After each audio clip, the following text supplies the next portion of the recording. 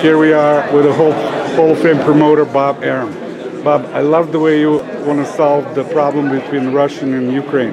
Who's your Who's your favorite Ukrainian fighter? Uh, without any question, uh, Vasyl Lomachenko. What's next for Vasyl Lomachenko? He will be fighting in the in the spring. Uh, we're working with HBO now on an opponent, and hopefully uh, by the summer uh, or early fall, he'll do the showdown with Nicholas Walters. All right. Uh, let's get to your other fighters.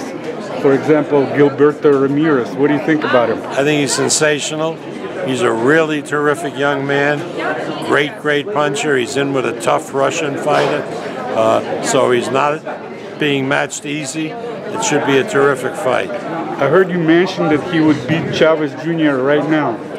It's not even a contest. Uh, talking about Chavez Jr., I heard he had a fight at light heavyweight with Andrew Fonfara. What, is it something you did or? No, we have a fight with Chavez. These people are violating our contract, so we'll have to test that out in court. Question about uh, Mikey Garcia. Mikey Garcia is back in the fold. We'll be announcing a fight for Mikey very shortly, probably in March. What weight is he going to be fighting? 140. Uh, how do you feel about being here in Denver for Rios Alvarado? Well, it's a great fight. I love the two fighters. Be terrific, you know, but I'm used to warm weather. I don't like to freeze my ass off. You know, surprisingly, you look very happy today. Is it because of the kind of fight you expect on Saturday? I'm happy because I'm a happy guy. And, and the people in Denver are very, very nice. And uh, I like fighting.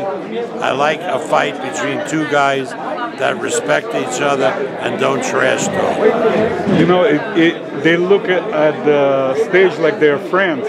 They are friends, just the way Gatti and uh, Ward turned out to be great friends. And finally, are we to expect Pacquiao Mayweather? We're all done. We've signed everything. We've agreed on all the terms.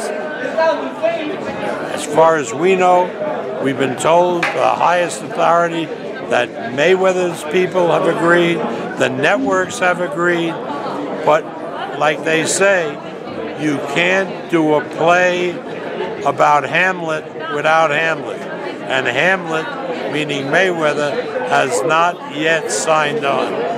Thank you very much.